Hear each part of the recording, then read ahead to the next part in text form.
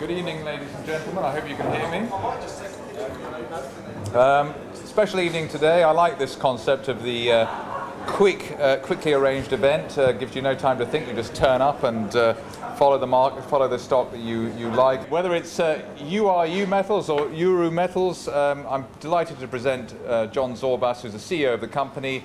it's got many different investment angles: nickel, lithium, management resource solutions as well. Uh, he'll explain to you the rationale behind his investment strategy and also uh, we'll find out why this is one of the most followed and most uh, currently the most loved stocks on the uh, London market. Over to you, John. Thank you. Uh, let's try the mic. No? Okay, so we'll go without the mic for now. Let's try it again. Well, uh, I'd like to thank everybody for taking the time to come out and see us uh, on such short notice. It, I look forward to speaking to you, to everyone individually after the event. Maybe you'll have some Q&A that we can go through. Uh, now, for us at URU or URU, as many people refer the company, it's exciting times. We've uh, gone through as we'll call it, the boom and the bust of the mining industry, and it kind of looks like, in whole, we paced, we paced ourselves, we starved ourselves the last three, four years, and uh, we had the company on life support in a way. Us larger shareholders and key people st stuck around. Leanna's been with us uh, from day one, Alex as well as a consultant, myself as a shareholder, and then after as management. And uh, fortunate enough, we're back, back, we're back to where everybody's looking at the mining industry again. And there's big reason for it. Nickel is a commodity that we have 1.5 billion tons of ore, and out of that ore, 2.2, 0.3 is nickel content. We'll get into that a little bit more deeper uh, as we go along through this. So in saying that, the global demand for nickel has been increasing over the years, and we find ourselves in a position that even the majors that were not looking at companies at our, at our level are, we're back in their microscope. And with that, are shareholders, you guys in here, which is another valuable asset that the company has that is not on the balance sheet. Uh, the reason why I say that, I get, oh, I want to find out who's the individual that passed my mobile number out. Because I'm getting a million texts a day. WhatsApp, texts, uh, any, and my email address. You guys, you guys have filled my box up. and that's why my voicemail is full.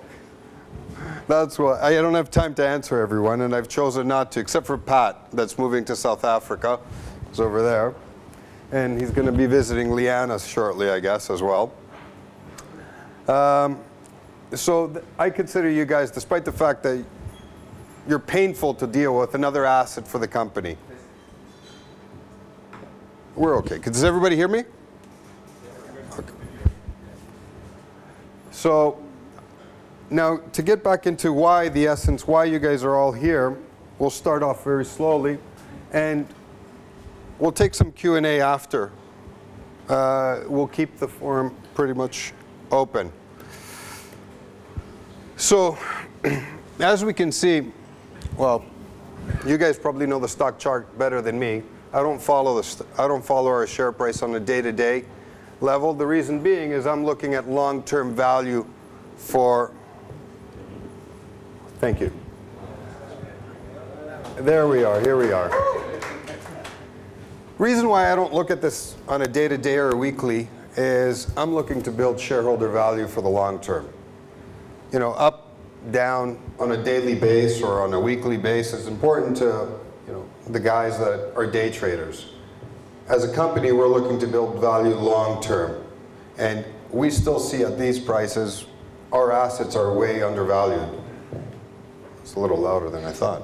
Uh, so as, as significant as many people think this is, for me it's important, but the underlying importance for the company is what we're doing on a weekly, monthly basis. At these levels, I think we'll continue and grow, and I still believe that the company is way over is is extremely undervalued. Here you have the board. Uh, myself as CEO, I'm also a director, David Sabotic and Jay Vieira, with Henry Kloper joining us recently. Uh, he, Henry's also had a long history in the mining, resource, and banking industry. And uh, recently he's also exited from one of his lithium investments and he will, he's focused on mostly focused on a company that's related to and to URU or URU, NWT Uranium, and NWT is actually transitioning to becoming a merchant bank for mining resource companies. On the balance of the board, I'll let you guys, I'm pretty sure everybody's gone through their CVs on the internet and also on our website. And I'll let you, I'll skip to that. The most important aspect for, our, for us is our technical team. Here, tonight we have Alexander Dementov with us and Liana Spy. Uh, Liana is on the ground in South Africa by the project. Alexander is located in the office in Toronto and he works mostly on the technical aspects of the project and Liana on the geology. Very shortly they'll take over. You'll, you want to hear from them more than me. So Global demand on nickel, as everybody has been uh, seeing lately, is on the rise with the demand. And I'm actually going to let Alex jump in over here. He's a little more familiar with why is happening from not the market part, but from the commodity, the actual product. So I'll introduce you everybody, Alexander Dementov. Uh, so uh, a few words about uh, nickel as a uh, strategic material. First of all, all military application needs nickel. That's why right now China uh, is the biggest buyer of the nickel. Take a look. So that's shortfall uh, for the nickel, and China is buying uh, almost every uh, molecule of nickel worldwide. And as the market is growing, uh, for 2017, is going to be uh, at least 25% uh, more than uh, last year. And again, that's just because of space technologies, military technologies, and right now nickel is going to be a very valuable commodity for the healthcare. So our project, as I mentioned earlier, uh, we've held this project for quite a bit. We were fortunate enough, our, our initial technical team and also share and also management were picked this up when nobody was looking. I referred to Zebediela as the needle in the haystack historically, and it truly is a needle in the haystack. Uh, we've completed a PEA on the project in 2012, and the the PEA at the time was quite favorable. And if we didn't run into the economic, economic period where the mining industry, as everybody knows, went through its slump, this project would have probably had proceeded and either been in production by now or we would have JV'd with a major on, on it. Uh, a lot of reasons. Besides the mineralization and the, the overview, it has other favorable, uh, other favorable aspects to it. One, it's being its location and infrastructure. We have rail lines, a rail line that runs right through the property and it goes to a smelter. We have power on the, we have power on the project, which is very, uh, power right on our property, which is very important. And we're also, we're also very close to the highway if we need to transport the ore out. Now, another thing that many people might have not picked up is we're very, very, very close to one of the largest open pit platinum, platinum, nickel, and copper mines. And I'll mention another gentleman's name, Mr. Friedland. we're right next door to Ivanplats' project. I don't know if anybody's been following Mr. Friedland's uh, developing project over there, but uh, if you look at Ivanplats' market cap and our neighbor's market cap to our market cap, you'll see there's a little bit of a difference. And uh, we're in the right neighborhood. One thing with mining and uh, in mining exploration is when you go for hunting for elephants, you need to go to you need to go to Elephant County, and we're right there. We're right smack in the middle of Elephant County. Now, this slide here will show you guys who are the top 10 nickel producers in the world. So I'm pretty sure everybody's familiar with them, but I'm gonna, I, I'd like you guys to take a look at the bottom, on the bottom of the list, number 10, 9, and 8, where they have nickel production 30, 35, and 48, and 48. And look right on the bottom of it, you've got Zebediela, or the mini project. And I will let Liana get to you why we refer to Zebediela as the mini project shortly. If you really look at this slide and you take a look at Zebediela at 25, if one of the bottom on the list picked it up, where would it move them on the rankings? Or you go to BHP. If they picked it up, they're right there with Xstrata. So the company has many options, and it can, uh, and if we choose down the road to open ourselves up to JVs or other partnerships, we're in that top 10 group. There is no other project that has these economics or this value to, uh, value to it. There's no comparable comp to that. This is where it gets complicated. This is the part that I'm not going to try to explain to you very, because I'll probably pronounce something incorrectly and uh, these two over here will be quite upset with me. So I'll pass the mic over to Liana. Thank you. Good evening. It's not really that complicated. Basically, what um, John said is the metal is in the earth, and that's the important part. Uh, if you look there, this is one of our um, cross sections, down dip, and the way you see this section, we can trace this on the mini project for two and a half kilometers, and it looks exactly like that. You've got the two, the darker pink zones, which is the high grade zones, which is separated by uh, slightly lower. I mean, we don't really call it lower because it is like um, Farid there. The one is point that the pink is point uh, 0.3% nickel, and the lighter um, part is point, I think it's 0.25. So there's not that big a difference between them. But the most important, part here is the continuity. From a geology perspective, um, once you start um, once you start following these um, minerals in the ground, once you start talking about mining and mining costs, continuity becomes very important.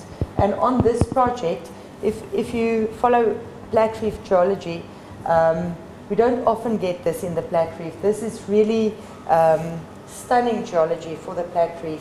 Um, then if you look at the mineral deposit, uh, it consists of that, like I said, continuous disseminated um, nickel mineralization.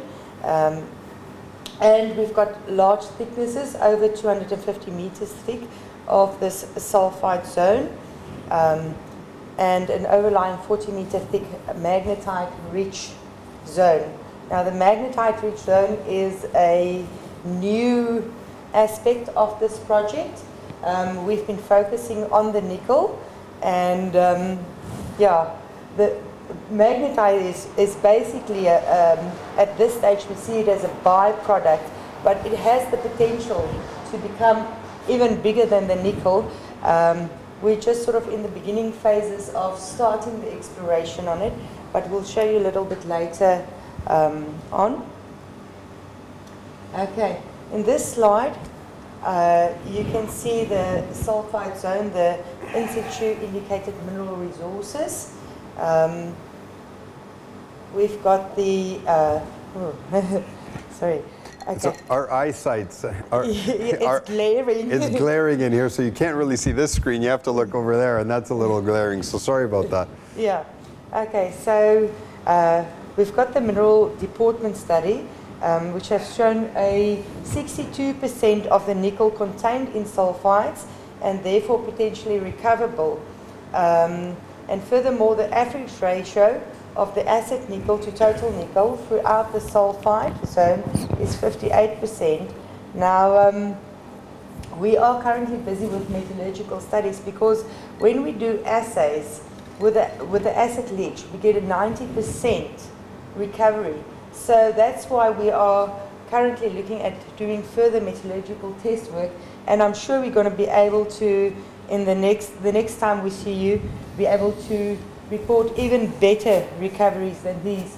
Um, and 62% is already uh, quite high for these type of um, deposits.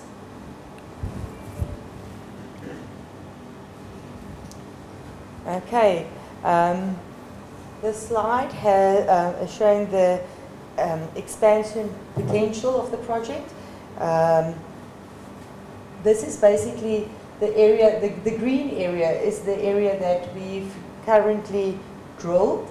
And you can see that in this bottom area here, there's still a large potential that haven't been explored.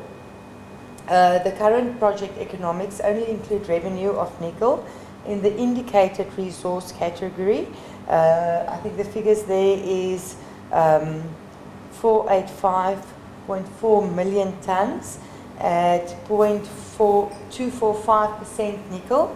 Then inferred resource are currently stated at 1.115 million tons at 0.248% nickel. And then the ore body has not been drilled, tested along strike. Uh, we will do some infill drilling shortly. We are planning to start a drill program in the next, um, well, as soon as I yeah. get back to South Africa, basically.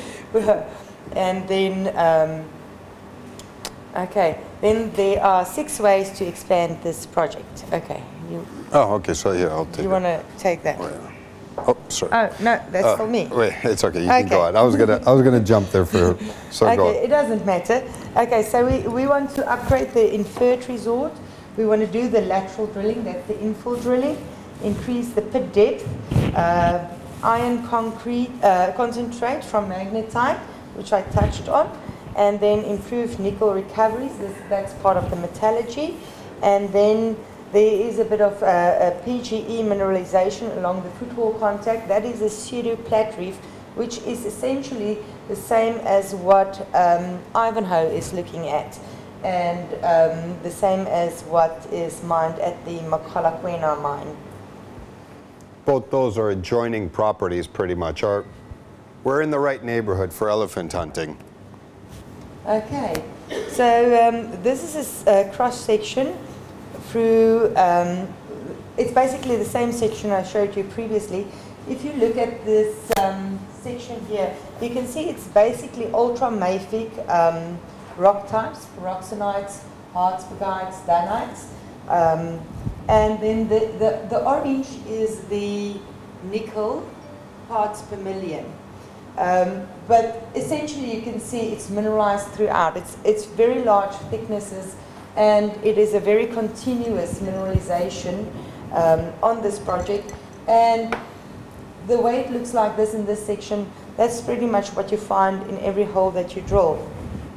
If you look at the cross section, uh, across the screen on that side, you can see the ore body is really nicely compacted and um, there's, there, there, there's no outliers or anomalies. It- what you drill, what you, what you plan on is normally you can predict it. After about three or four holes, we started to um, predict the geology in our drill planning for, for, for the next holes. And every time we hit the mark, there was nothing that ever rocked the boat or it's really very, very consistent. Okay, there is basically a summary of all the, the, the, the upper ones is the historical U holes and then the Z holes or the Z phase of the project was the latest holes. That was, that was when I came onto the project. That's when we started. It's from Z1. And um, if you look at the nickel percentage here, um, right by next to me, you can see that um, that it's it's really good. The, the grades. These are, if you look at the at the intervals, it's staggering to think you've got 0.26, 0.7, 0.26, and if you look at the thicknesses, it's 521 meters, 162 meters. I mean, if you think there's people who, who, who mine on two or three meters, you know, this is a massive, massive, massive ore body, and it's all on the surface. Um, so it's just staggering the open cast potential, and it's a pipeline body. So um, we're not even at this stage um, contemplating what's, you know, the deeper parts of the ore body. We're just touching the surface here. So the potential is really enormous here. Okay, this is a high punish nickel um, project. This is a um, parts per million nickel, where you can see there we've got the, the, the red and the orange and the yellow here. And that's just a block model, a, a very, very basic block model um, to show the disseminated nature of the ore body um, and how it lends itself to an open pit. Okay, now this is where it gets interesting for me and normally this is where I lose everybody in the talk. Um, but just very, very um, basic mineralogy. If you look at this, you can see the relationship between the peridotite, the pentlandite, which is normally the platinum carrying the peridotite, and which is the nickel, they, they associated PGE and nickel and copper um, sulfides, and the magnetite sitting right next to it. So this is not a zoned ore body. This is all-inclusive. And the nice thing about it is you can actually, in metallurgy, extract them. It's, it's not going to clash. These things can simultaneously be mined. Okay. Thank you. Thank you, Liana. As I said, the, one of our assets, uh, the company assets that nobody sees on the company's market cap or the balance sheet are people like Liana. Liana has been with the project. That drill hole, the Z drill hole, she was there with the very first meter that was drilled, and she was there at the very last meter, and she's still with us. So that needs, geologists, when they fall in love with a project, there's a reason why. Uh, I think she touched it a little bit for you guys. Uh, however, I'll move on and I'll get into the technical aspect a little bit. We've a little bit, and so therefore I'm going to introduce and bring back Alex, and Alex will try to explain things in a normal business-oriented way for a lot of people to understand. Good evening.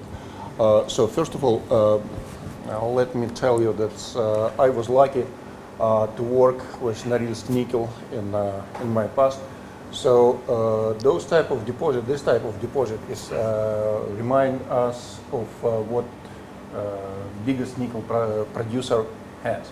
So it's very close to what they have up north in Russia.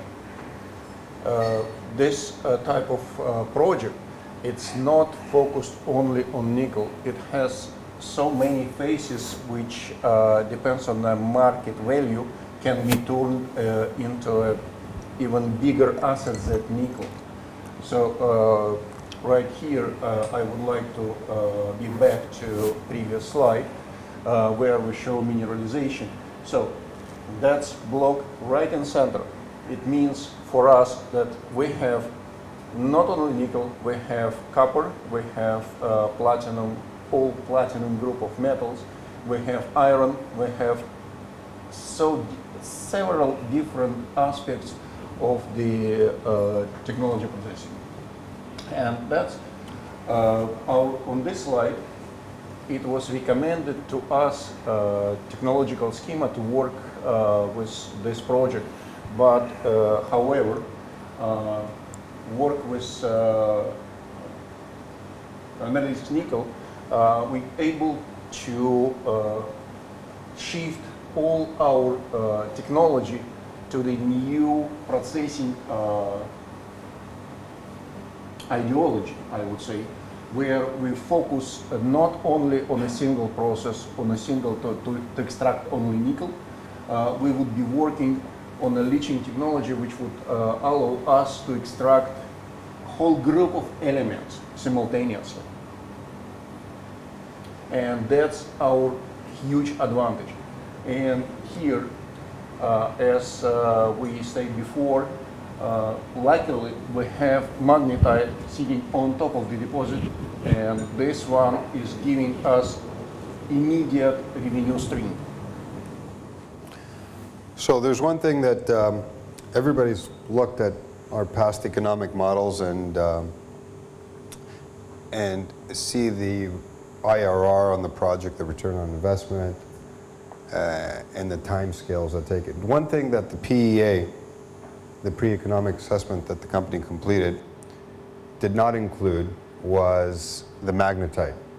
At the time uh, we knew of it, we obviously saw it. Uh, However, the company focused on proving the, the feasibility of the project solely on the nickel and uh, be a base metal, a single base metal with byproducts, of course, uh, company. And therefore, there was a decision made at the time not to include it in the PEA. We disclosed it, everybody knew of it, however, the numbers didn't incorporate that. Once we take these factors once we take these factors into consideration, the whole model changes, the whole PEA improves drastically. And uh, Leanna will come here and talk a little bit about the magnetite resource, the potential magnetite resource that we're looking at. Okay, so um, from a bulk, model analysis of the composite sample of the oxide zone material, um, this is the borehole Z05. That is pretty much in the center of the ore body. We chose that as representative. That's the one that I showed you the In the previous in slide. the previous slide where we had the nickel and you could see it was mineralized with nickel throughout. We choose that as well and did some testing for the magnetite. Uh, the numbers we got out of that um, during the PEA showed that the sample consisted of 15.34% magnetite by mass. Stripping of the oxide zone material required to assess the sulfide zone is in the order of 182 million tons and the estimated amount of magnetite present in the stripped material will be 27.3 million tons. Okay, so assuming uh, a very conservative recovery of 50%, the, the potential amount of magnetite recoverable would be around about 13.7 million tons. And this translates into an estimated value of recoverable magnetite um, of 1.5 billion US dollars. Uh, you can see the numbers there on the slide in the brackets which they- used, and thus the potential net revenue they've summarized for you here with the resource site at uh, 82, 182 million tons. Magnetite grade is 15%. The assumed recovery I mentioned was 50, and then in the end, basically what you want to look at is the bottom line, and um, that's the one that you are interested in. Interested for all the shareholders, of course. So this is, uh, I'd like to get here, this is the nickel production technology that we're looking at uh, when we get to that stage prior and after, prior to uh, production. Uh, as everybody can see, and I want to draw your focus on this, normally companies of this size, of our size, have not gone through have not gone through the studies and PEAs to get to be able to assess what we're what we're going to do in the future based on what we have today. Uh, we've really focused on being able to show an example to or show the marketplace what the potential and what the next steps are to move this project forward. And uh, having heard a lot of you, having heard a lot of the shareholders over phone calls and or text messages, again, uh, kindly stop text messaging me. Uh, I'm going to ask Alex to, to gu- the questions are what we would do. So I'm going to ask Alex here to explain this process so the text messaging can stop. Uh, I'm not going to deep into the technology. So, but what we are looking for as a company, as uh, John had mentioned, uh, we are not focusing only uh, today's needs, today's value of the company. We are always looking what we can do uh, to bring uh, new values to the company, uh, to implement modern technologies. And this one, this technology is a mix of innovation and traditional leaching technologies. So uh, we are processing uh, all or in the same uh, in the same technological scheme, uh, but separating it uh, at the specific stage uh, by processing separately copper, uh, platinum metals, uh, iron, and nickel. So that's uh, technology uh, applied for Norilsk nickel, and it's working uh, for almost uh, 100 years already, and it's very successful uh, approach. And we are bringing it here to our company to uh, to focus not only on uh, single uh, element, but we are processing ore as a uh, complex commodity. And this one, this slide is showing uh, our approach to uh, heap leaching. Uh, we are doing innovation as well.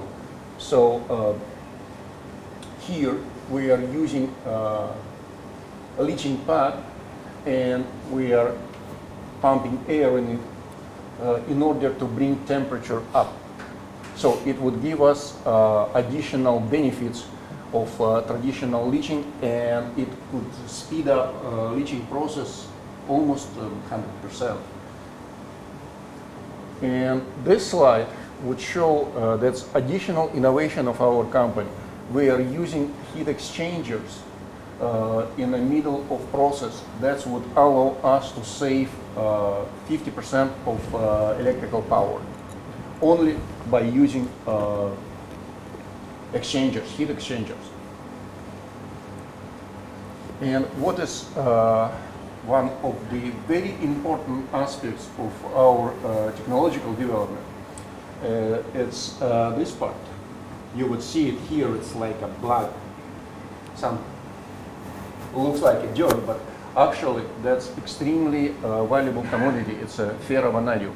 So we can extract it along our process. And this commodity uh, is uh, valuable, it's more valuable than nickel, cobalt, even though it's, uh, you can compare it with gold. So we pretty much some uh, we're trying to pack as much information for you guys uh, in a quick one hour uh, investor meeting and uh, so we're just to sum it up to bring everybody back into speed and in closing and then we can get into any q&a that you have uh, i'd like to summary up that we are looking at a low grade high, high tonnage open pit resource here. It's um, i'm going to go back to what liana said it's actually remarkable on how it's continuous I, I don't think people understand when you say open pit strike zone we have a football field of open pit nickel mining here. maybe double the size eventually when we, when we do some additional drilling. On top of that, we also have the upside that we have not taken into account in our PA. We've always kept that. Uh, it's been fully disclosed to everybody. We have the potential, the huge upside of the magnetite that has not been taken into account. Once we look at all those, the project economics exceed our expectations realistically. And we'll prove this as we go forward. We hear sometimes a lot of complaints from um, individual investors that saying, you're not updating the market, you're not doing this, you're not doing this. And I, I, at the beginning, I try to state it to everyone that we're not a one-day play. We're not a one-week play. We're looking to build something here that is going to take us from an exploration company in that top 10, or we'll take a top 10 to number four or five. That's our objective here. And alongside, with that, with that thought and process, with that thinking and process, that's how we're trying to build value for our company and hence our shareholders. So, coming back to it, when we look at it, and Alex went into various methods of extraction and processing. Some of you are going to wonder and you're going to say, oh, that seems all complicated. That's all confusing. It really isn't. We are just copying what the biggest guy in the industry is doing. They've been doing it very successful for a very long time. So we're just taking that approach and we're applying it to our little mini project in South Africa that has been sleeping for a long time, that needle in the haystack. In doing so, I think, and the, and the company thinks, that's why Liana from date was a drill hole number one, and she's going to be there for a very long time. Uh, Alex and myself, I've been a shareholder of URU from its formation. Uh, so I've been with URU for a very long time. Part of the uranium plays, those actually were my properties that went into your Niger uranium at the time. Um, so we're looking for the next 12 months for very exciting times for this company. The next couple weeks uh, are going to give a very good indication on where we're going. And uh, we're moving a little slow for some people, but our interest is to, big, to build big shareholder value. We're not a day trader here. We're a company builder. And that's why the organization that we've put together suffered through the mining bust, and now we're going into the, I don't want to call it this, the mining boom. In saying that, this is where we are today, and uh, the floor is open for any Q&A that you guys might potentially have. Thank you, everyone. Thank you. Liana, Alex, thank you. Thank you, guys.